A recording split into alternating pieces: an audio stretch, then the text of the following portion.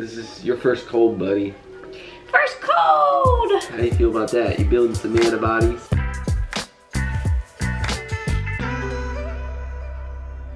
I don't know if you guys are ready for this.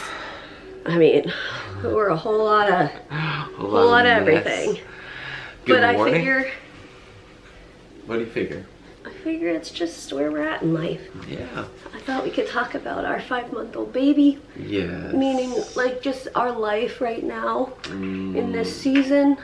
Well, first of all, we have a little cold at the moment, and so I, this is this is your first cold, buddy. First cold! How do you feel about that? You building some antibodies? Yeah. I I think I think I didn't realize how sad that would make me. The cold. Yeah. Yeah. What do you see? What do you see? Hi!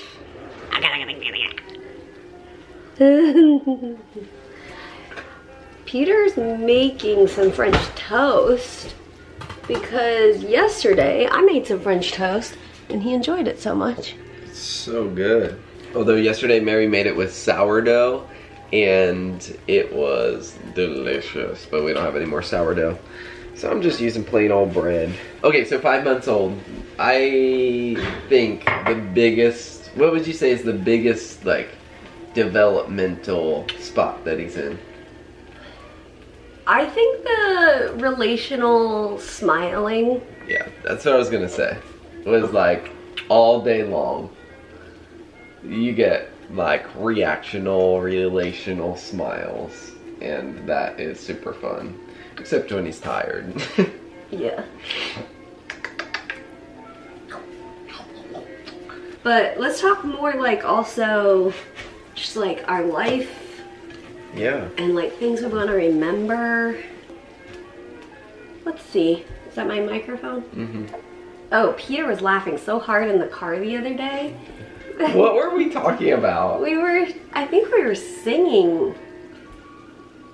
Were we singing? Oh, we were singing, and Mary kept like giving me the mic, like holding up her hand like it was a microphone to me, and then going to her, and then it was. I was just laughing. I was like, "You are so funny." He said, You are your 11 year old self. Yes. in grown-up bo- person body and it's true it's true.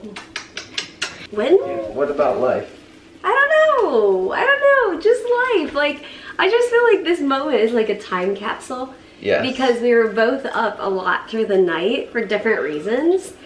And so we kind of i feel like our inhibitions are gone or whatever. Like we're at a very raw state you you feel like this will be an unfiltered video clip. yes, an authentic video.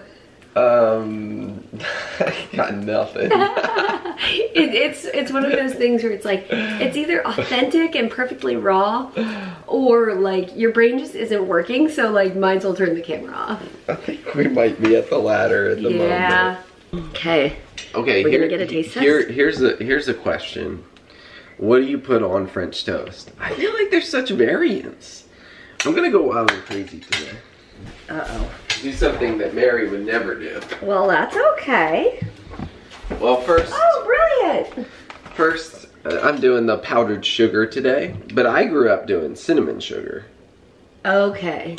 So granulated white sugar with cinnamon. Yes, but I just sprinkle powdered sugar and I'm gonna put strawberries like sliced thin on on top.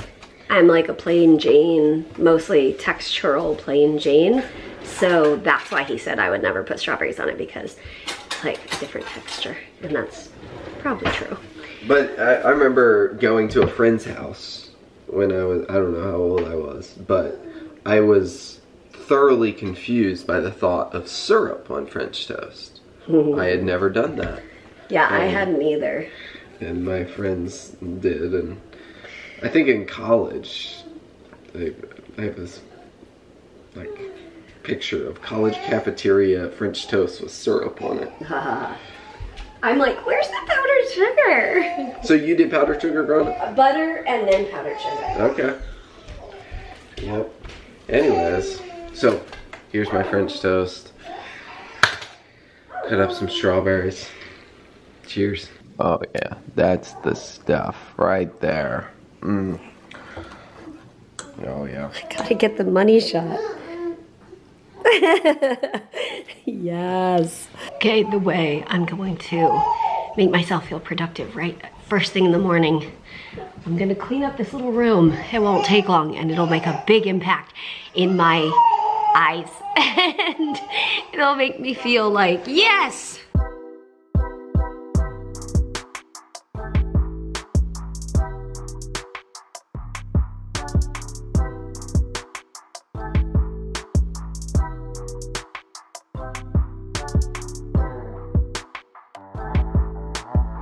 I'm carrying you with me. I just got done up on the third floor. I went through his, uh, Elijah's next bin of clothes for like the next size up. And it's so funny because now, you know, a lot of friends and family and strangers gave us hand-me-downs. And I basically just sorted through the sizes and put them in buckets and thought, I don't know who this little person is going to be. So I don't know if he's gonna be like a bold stripes kind of guy or or rather if I want him to wear bold stripes or if I want him to wear muted colors or or whatever and now I know who he is. And so now I went back through the next size of clothes and I was like yes this one is definitely his personality. Nope this one is definitely not his personality. So I have some more to donate. I, or I have a couple of friends who have babies as well that we can pass it on to. It's the perfect uh, scenario to have friends with babies right behind yours, like a month younger or something. So you can pass the clothes along. And then I decided not to go through the bin of like 12 month clothes because by 12 months, or you know, around that age, they're starting to have opinions and personalities and they like certain things or they love the this color or that color and so you want to keep all of those clothes that are those colors. So I was like, I don't know who he's to be in 6 months from now. So I'm not to go through those clothes and weed out the ones that I do or don't think he'll wear because he might have opinions by then. Maybe not quite by 12 months, maybe more like 18 months you know, he's starting to say the word car or bear or whatever. And if there's a bear on the outfit, maybe he'll love that. And so I need to take up this diaper, put it in the laundry, take this laundry, put it in the laundry. And I thought maybe he'd be waking up by now. He still usually does like 35 minute naps. But once a day, he does a two hour nap.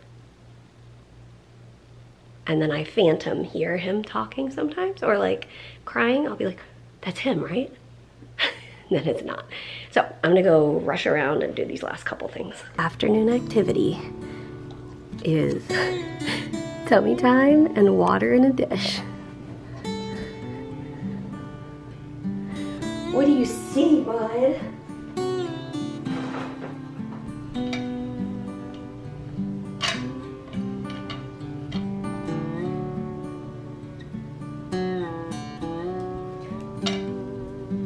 With that.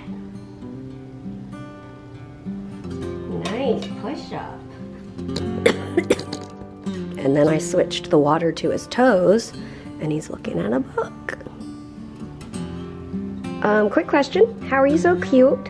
How is it possible? How? How are you so cute?